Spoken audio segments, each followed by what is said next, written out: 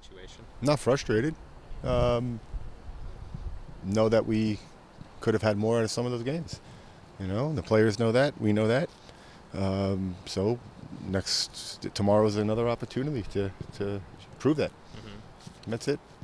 You know, you're okay with the guys not being like ticked off and things like that because the season I didn't. is I didn't so say long. that. I, I said.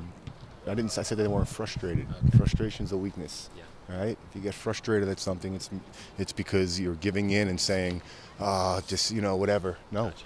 uh, guys. Of course, I said guys are angry. Mhm. You know, but not not in a way that I think is being put right here. You know, they're angry in a way that we could have had more out of those games, and it's about time that we get more out of the games. And have you seen that kind of in, in training this week? They're kind of trying to put all everything in they can to get that win this weekend. and For the most part, yeah. For the most part, you know, I can't I can't sit back and say that 30 guys, uh, but overwhelming majority, absolutely. What have you seen from uh, Donny Toia that's, that you've gotten to know him as he's played here? Um, he's a steady professional. You know, he's got a good touch. He's got a good engine. He's got quick first step as a defender. Um, he's a solid 1v1 defender. Um, you know, he has over 100 games in the league, so he has experience, you know, which is good. And, and we've been happy with Donnie so far.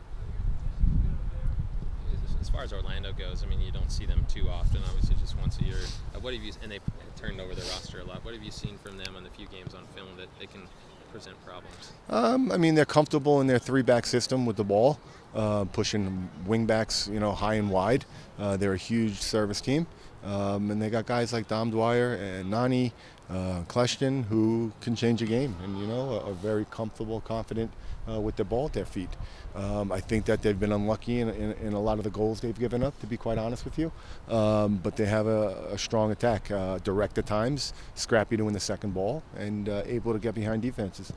How important do you think it's going to be able to kind of establish your rhythm um, throughout the first maybe 15 games, 15 minutes of the game? Very important. We're at home. Um, it's always important, um, whether it, whether it comes across as or not. Uh, when you're at home, you have to try to set the tone, you know, and that's what we've talked to the players about, um, and these players understand that.